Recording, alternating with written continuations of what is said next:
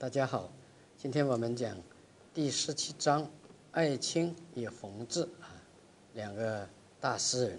那么艾青呢，是我们比较熟悉的一个诗人呢，呃，也是三四十年代出现的最有成就的一个大诗人。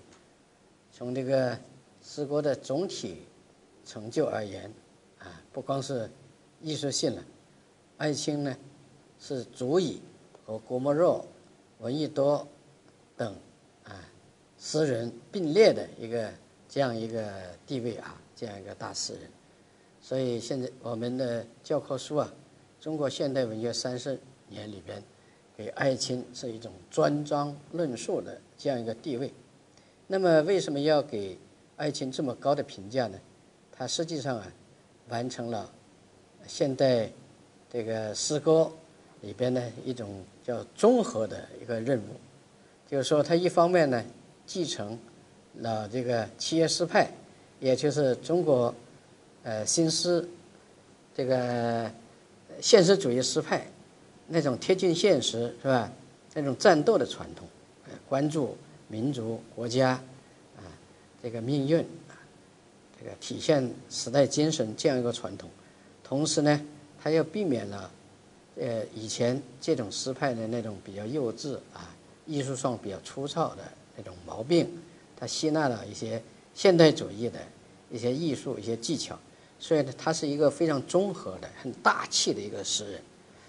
呃，下面呢，我们呃简单介绍一下艾青他的创作的一些经历、一些情况。艾青年来，他叫蒋振涵，他原名叫蒋振涵。是浙江金华人，在一九一零年出生的，啊，那么他是一个地主和小商人家庭的出身，啊，他父亲呢是开过一个卖酱油的一个小店，出生的时候啊，因为他母亲是难产，呃，这个两天两夜才把他生下来，所以这个旧旧时代呢就认为这个爱卿是这个命不好，这个克克心啊，克父母，所以生下来就把他过继了。就把他呢过继，就送给一个这个贫贫困的一个农民农妇啊，叫大叶和啊，所以后来艾青的成名作叫《大雁和我的保姆》，写的就是他的他过继给他的那个母亲啊，那个保姆。那么艾青呢，在这个大叶和的家里啊住了五年，他自己的话来说，我感染了。农民那种忧伤的、忧郁的伤感，使我对农民有一种朦胧的、初步的印象。他五岁要读书的时候呢，才回到他自己的家，就带着那个土器了，是吧？说摸着那个红漆雕花的家具，穿上那种很讲究的，呃，用贝壳来做这个纽扣的那个新的衣服，他感到一切都是不自然的。是吧？是陌生的，所以他他大雁和我的母亲诗里面也有这描写。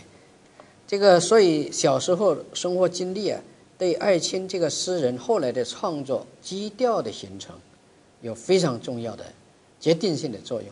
就是说，他的诗一开始呢，就和民族灾难与人民的命运呢，起到血肉的联系了。所以他的诗里面老是带有一种农民的忧郁啊。这个我们等一下要讲，专门讲到艾青的诗序，要分析这种忧郁啊。艾青中学中学毕业以后啊，就考上了当时杭州西湖的艺术这个学院啊，一个绘画系。这个艾青他是有画画的天才的，就曾经得到林凤眠一个著名画家的赏识。在一九二九年呢，就到法国去学画画啊。那么在这个世界艺术中心呢，他是广泛的接接触了西方的艺术思潮，特别是印象派的影响。那么这对他的诗歌创作也有影响。所以艾青的诗里边呢，很注重色彩、意象，可能跟画画是有关系。下面我们还会讲到，啊，呃，另外他也模仿学习当时的。一些象征主义的诗人，像比利时的啊，呃，这个凡尔赫伦，凡尔赫伦，这个是象征主义，现代象征主义的一个代表诗人了。他们的创作呢，都是那种豪放的、开阔的，是吧？自由的，很多口语入诗，来体现那种时代的旋律。这个艾青呢是这个很大程度上是借鉴了这个凡尔赫伦这种风格、这种写法，所以他在法国住了三年呢，思想、情感、艺术都得到了丰富啊。本来是一个农民出身的儿子。啊，农民出身的一个诗人，他以开阔的胸怀呢，来接纳了当时西方的这个呃那种现代艺术的新潮，所以传统的东西，呃，现代的东西，在艾青这里得到了一个完美的契合，就形成了他的诗歌创作啊。那么回到上海以后啊，他就艾青就跟左翼，就当时共产党。影响之下的左翼文艺运动啊，接触他参加过美联，当时三十年代有左联是吧？就作家左翼作家联联盟，还有很多都是类似于左联的是吧？像美术家他有美联，他曾经组织这个春地艺术社，也是一个左倾的一个活动啊，在讲课的时候曾经被捕被捕，就归当时的国民党当局啊给抓了。那么到了监狱里面就开始写诗。本来他是个画家啊，被抓了以后在监狱里面写诗。一九三三年一月十四日，很重要这个日子是吧？那天早晨下了大雪，那么在监狱里面的爱情呢，想起了他的童年，想起了他的保姆，看着这个窗子外边那个雪，那么头靠着墙，他就写下了他的成名作《大堰河》。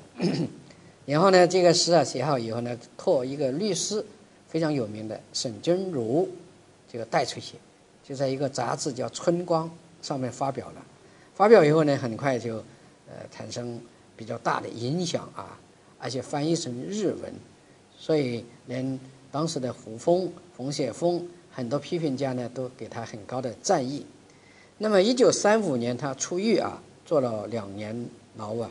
然后就开始呢，大量的写诗，而且卖文为生。到了三七年呢，他就到内地啊，主要抗战时期了嘛，来感受民族革命战争的那种气氛。这时候他的诗歌开始走向成熟。最著名的，一九三七年十二月写的，是什么？雪落在中国的土地上，雪落在中国的土地上，是吧？这个诗啊，是在武汉。也是下雪天，在一个阴暗的房子里面，当时那个武汉是临时这个呃战时啊，抗战时期，呃，类似于抗战时期的一个总指挥部似的，但是战争很紧张，是吧？一方面呢，呃，社会呃这个当时当局也很腐败，所以他写了这个雪落在中国的土地上，非常流行、非常影响大的一首诗。一九三八年呢，他和萧红、萧军。端木蕻良等就到山西是吧？当时山西也是一个革命的根据地啊。他路上呢就东过黄河，就望着那个汹涌的逐逐流啊，他想到这个北方那种贫困、那种坚毅啊，说北方是悲哀的，是吧？所以激起了他的诗情，他就写下了有北方乞丐、手推车等等。这些诗，在一九三八年到武汉啊，又参加了文学的抗日宣传活动，也写下了《向太阳》。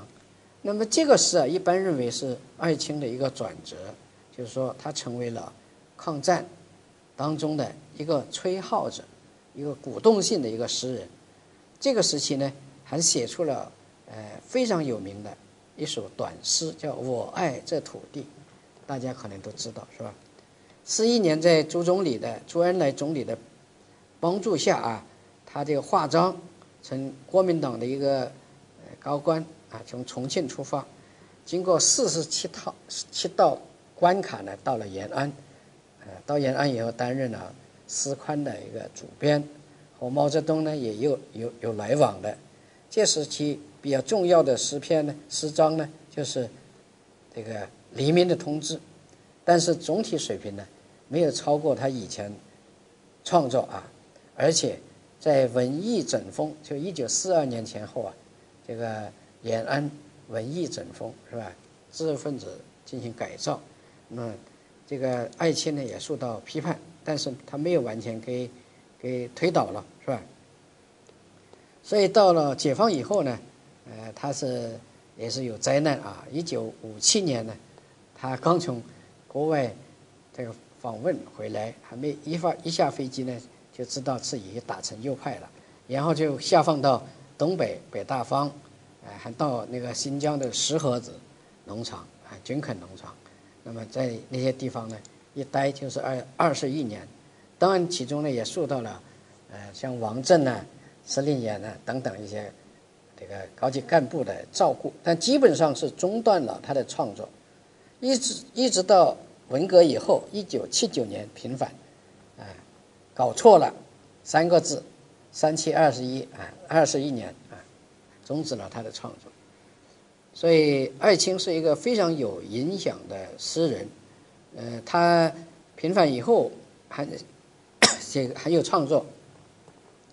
出过一本诗集，叫《归来的歌》，比较朴实平淡，但是富有哲理性，跟早期的风格是很不一样的。以上我们就简单介绍了一下艾青的创作生涯，连同几篇他最重要的诗歌。呃，可以看出啊，艾青的成功确实是跟他本人的经历、素养有关系，跟那个时代也有关系。他起到了一个综合的作用，就是说。他吸纳了革命诗歌那种贴近现实，是吧？这个大气，呃呃，这种呃特色啊，这种传统。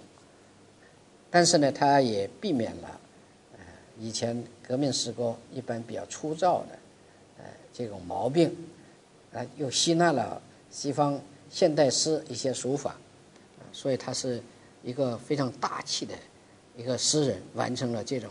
综合的任务，我们说它是综合啊。简单说，回顾一下啊，从胡适二十年代尝试集开始，是吧？那时候突破旧体诗的束缚，要用白话来写诗，啊，到了郭沫若女神出现第一个高峰，这个时期啊，主要是破除旧的形式的束缚，开拓那种自由发展的那个道路。所以这个第一个十年。啊，二十年代的时候，新诗的发展呢是自由的，是多种多样的，但总体呢，总体上来说呢，又是不成熟的。所以到二十年代的后半期，才出现了一个新约派，是吧？新约派呢是讲求呃新的格律诗，呃提倡新的格律诗，就是为了纠正那种诗歌形式过于散漫、缺少诗意啊，艺术质量低下的那种倾向。就是一破一立了，是吧？带有一种历史的必然性。那么到了第二个十年呢，就是说三十年代，三十年代那时候呢，出现了第二个诗歌的高潮。呃，我们以前讲过了，一个呢就是革命现实主义诗歌的潮流，还有一个呢就是后期新约派象征主义这个潮流。这两派不太一样啊。前者呢比较注重诗歌贴近现实，是吧？反映时代的脉搏。啊，反映国家民族的命运，跟现实联系比较紧紧密啊。内内容上比较大气，比较坚实啊。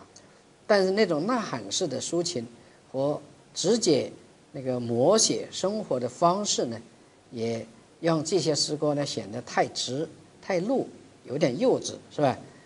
另一方面呢，就是刚才说的，像后期新月派、啊象征派这些诗人呢，比较注重。